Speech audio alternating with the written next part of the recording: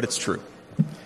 Now, when I proposed to my wife, we were in law school, and I said, honey, I come with $120,000 worth of law school debt and a cemetery plot on a mountainside in eastern Kentucky.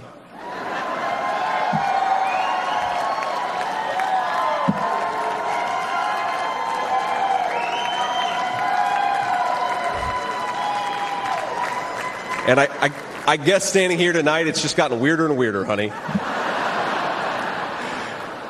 But, that, but, but that's what she was getting.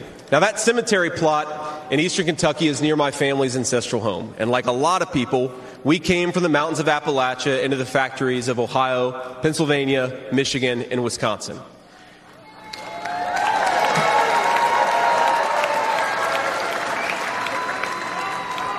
Now, that's Kentucky coal country, one of the 10.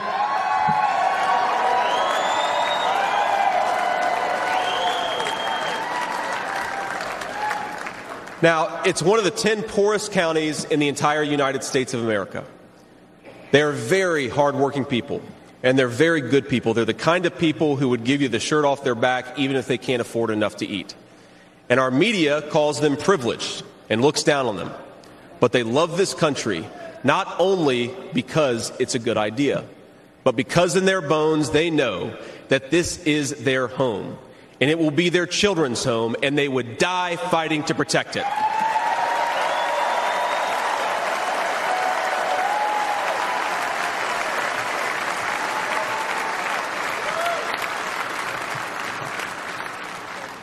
That is the source of America's greatness.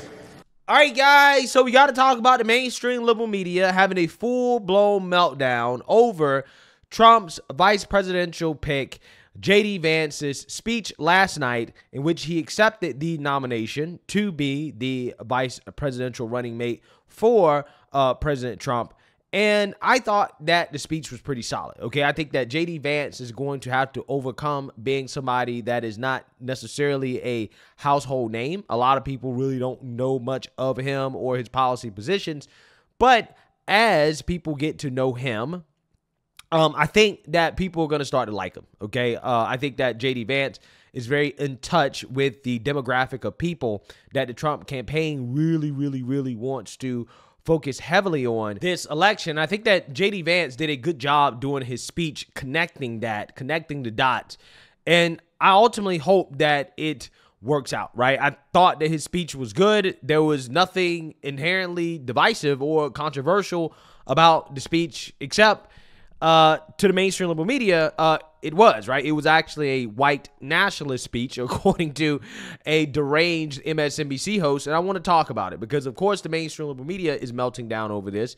They uh, are not fans of JD Vance, of course. And if the media, the liberal media, is not fans of JD Vance, then that probably is a pretty good thing, right? It's probably a pretty good sign. So I want to talk about it, but before we get into it, I want to let you guys know if you like my channel and you want to support my channel, you can check out my merch, my Make Biology Great Again shirt that I'm wearing right now, one of my favorite shirts, especially the MAGA red. I think it looks good on me, so it'll probably look good on you. You can check it out at my website, gforemanbcp.com. Get 20% off using discount code TEAMBCP. Roll the clip. Um, I know that there was not the same red meat sort of blood and soil nationalism that you might hear in, I don't know, other parallel universe Republican conventions. But I do think there were some sort of Easter eggs of white nationalism yeah. in the speech. One of the things that stuck out to me was when he started talking about what America is. He said, America is not just an idea, it is a group of people with a shared history and a common future. The thing about America is that it's not a group of people with shared history. In fact, I think a lot of people would argue it's quite the opposite. It's a lot of people with different histories, different heritages. His in-laws don't share the history. Exactly, and that's the other piece of it. He ta- he goes on. He went a long sort of. Um, a paragraph at least about this plot in eastern Kentucky where his seven or six generations of his family are are buried and his hope is that his wife and he are eventually laid to rest there and their kids follow them. And I sort of understand the idea of sharing the, the burial plot, but it also is, it reveals someone who believes that the history that the family should inherit, and indeed the history that should be determinative in the, in the story of the Vance family, is the, the history of the Eastern Kentucky Vances, and not the Vances from San Diego, which is where his wife is from and where her Indian parents are from. But in America, it doesn't always have to be the white male lineage that trumps the, the, that defines the family history, that that branch of the tree supersedes all else. And, and, I, and I just think the construction of, of this notion reveals a lot about someone who fundamentally believes in the supremacy of whiteness and masculinity. And it's couched in a sort of halcyon, you know, revisitation of his roots, but it is actually really revealing about what he thinks matters and who America is. And that America is a place for people with a shared Western background. And that is the idea of America. That is the nation of America that he wants to resurrect. I want to yeah, so I want you guys to understand. MSNBC, who apparently was looking for nuggets of white nationalism, okay, uh, Alex Wagner, who is basically a Rachel Maddow flunky, uh, she says, "Well, I didn't find any overt white nationalism, but I found nuggets, nuggets of white nationalism, guys. Again, looking for racism. This is what they do, right? They look for racism. And what she comes up with is that, well, I think that JD Vance wanting him, his Indian wife, and his kids, mixed kids, to be buried with him and his family. Uh, I think that that's white nationalism. And this idea is just so ridiculous for a number of reasons.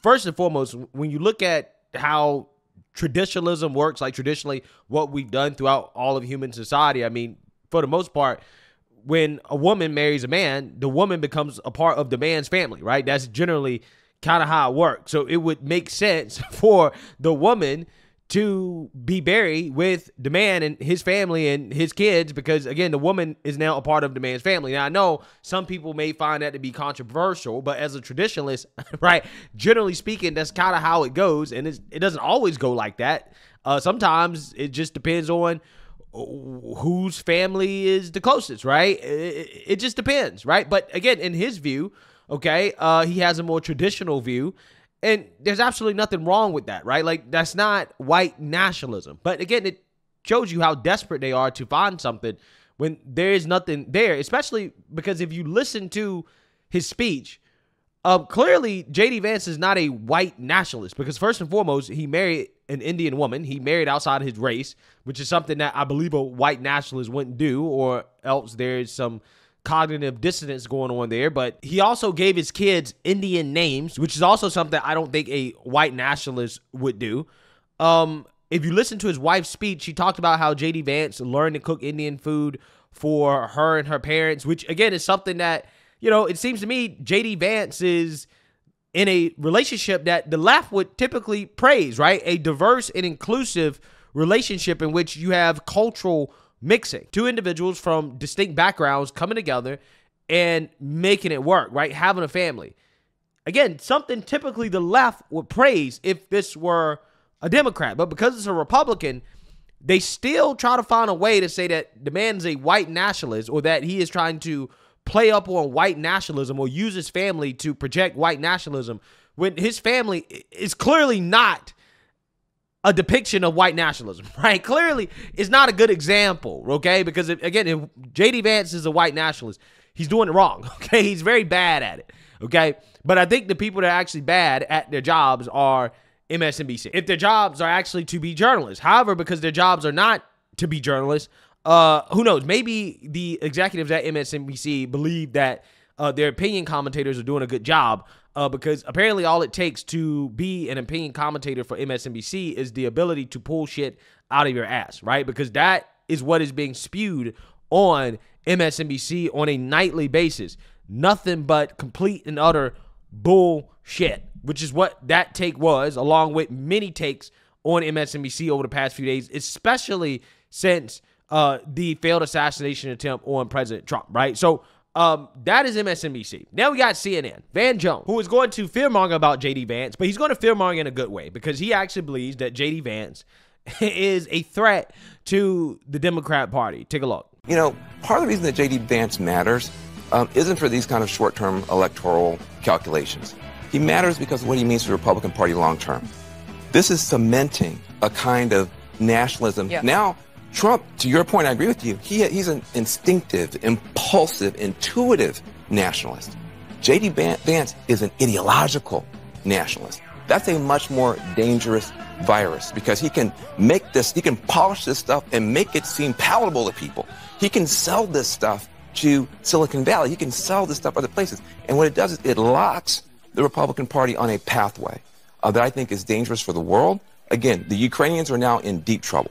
Um, NATO is now in deep trouble. Uh, uh, Trump is, he could have gone with, a, with a, a, a Nikki Haley and signaled to the world, hey, listen, I got to give stuff to my base, but I'm not going to abandon the world. This pick is a horror on the world stage. So J.D. Vance matters because he, uh, uh, Donald Trump is pointing the Republican Party in a very scary direction for the long term. Yeah, so that is Van Jones giving accidental praise to uh, J.D. Vance, okay, because he says that J.D. Vance is much more skilled in articulating and advancing his form of nationalism, which I think is a good thing, right? I'm not entirely sure why nationalism is such a dirty word, right? I think that we all should be more nationalist. We should all be more patriotic. I think, if anything, that is what is missing in this country right now is a sense of nationalism, okay? And especially when you talk about a country where you want so much diversity and inclusion, right? This is what the left claim they want. Well, the only way that that can work is to have a strong sense of nationalism because nationalism or pride in one's country, a strong sense of it is the bond that brings everybody together. It is what makes us American. But if you're telling people that, hey, we need all this diversity and inclusion, but no nationalism, right? It is bad to be proud of your country, then that's just creates chaos and destruction, right?